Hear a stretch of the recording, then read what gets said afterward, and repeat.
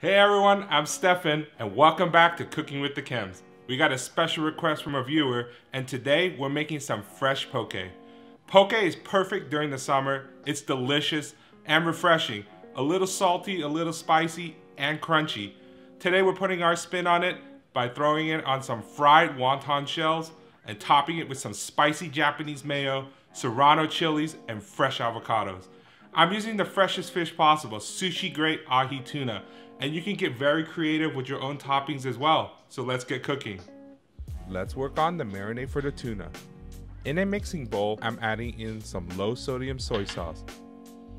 Now, some rice wine vinegar. Some toasted sesame oil.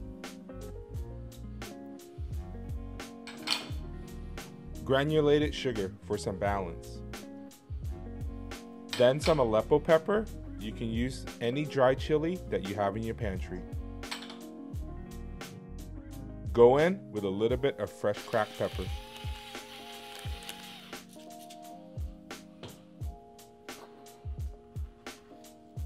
A sprinkle of kosher salt. And whisk all together until the salt and sugar is fully dissolved into the marinade. Let's give it a taste for seasoning. Now we're gonna work on the tuna for our poke. I have this beautiful and red ahi tuna steak. It's very important to know where your fish is coming from, especially with this kind of preparation. We're going to be small dicing our tuna. First thing to do is to slice the tuna. And then cut into strips before going over with the knife one last time into a small dice. Fresh tuna should not smell fishy and should not be slimy in texture. Traditional poke is usually cut into pretty big pieces, but today we are elevating and adding some finesse to this dish. The tuna is going straight into the marinade and now we will mix gently, making sure that the tuna is completely coated with that delicious goodness. After mixing, I like to grate some fresh ginger and garlic before mixing one last time and covering with plastic wrap and placing in the refrigerator for a minimum of 30 minutes and up to 2 hours before serving. I have two Persian cucumbers. First, remove the top and bottom and slice before cutting into strips and then a small dice about the same size as our tuna. I love using Persian cucumbers because the whole cucumber is delicious and it doesn't need to be peeled and have the seeds removed. If you can't find these, any cucumber is fine, just peel and remove the seeds before dicing. Next, I'm slicing serrano chilies into thin slices for the garnish. I'm leaving the seeds in because I love spice, but you can remove them if you want. Now I have a bunch of scallions and we will cut the green parts really thin. First, we would trim off the top. We're going to do a fine chop and let the knife do all the work. We're going to slice in a rocking motion until the green onion is paper thin. This takes practice and a sharp knife. Then the scallions are going into some ice water. The water shocks the scallions, creating a nice texture and it preserves that bright green color. Stir for about 15 seconds then strain and place on paper towels and set aside for later.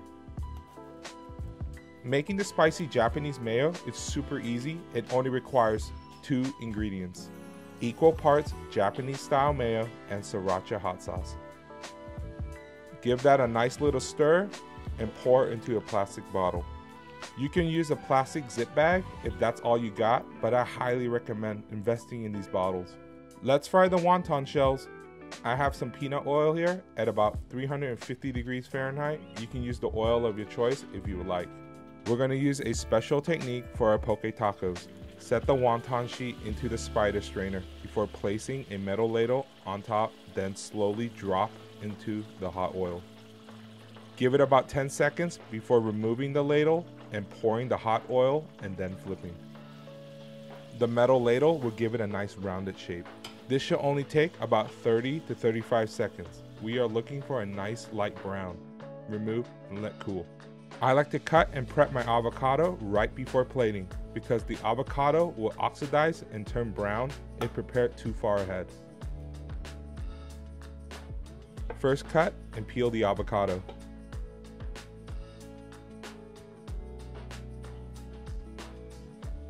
Slice and cut into strips before dicing. Place into a mixing bowl, squeeze some fresh lemon right on top. That fresh squeeze of lemon will add flavor and also keep the avocado from oxidizing. And a sprinkle of kosher salt. Add some olive oil and toss gently so that the avocado is coated and not smashed.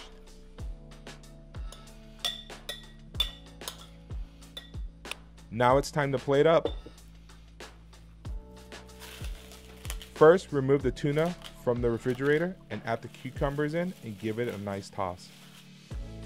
I like adding my cucumbers right before serving because it preserves that crunch and freshness. Place three shells on a plate. Place about a spoon's worth of tuna into each shell.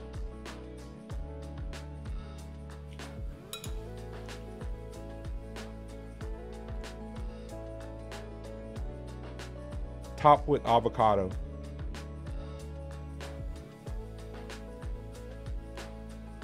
Then a nice drizzle of spicy mayo. Some of that thinly sliced serrano pepper scattered. Some furikake, which is a Japanese condiment consisting of toasted sesame seeds and seaweed. And then finishing it off with a nice pile of scallions right in the middle.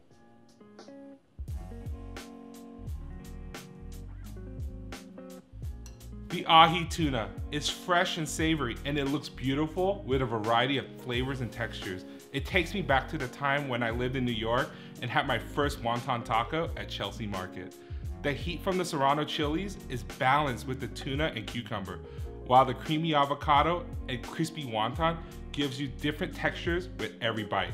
Thank you for checking out our channel. If you enjoyed this recipe, please like, share, and don't forget to subscribe so you can catch our videos every week. Follow us on our socials at Cooking Kems, and we look forward to seeing you on the next video.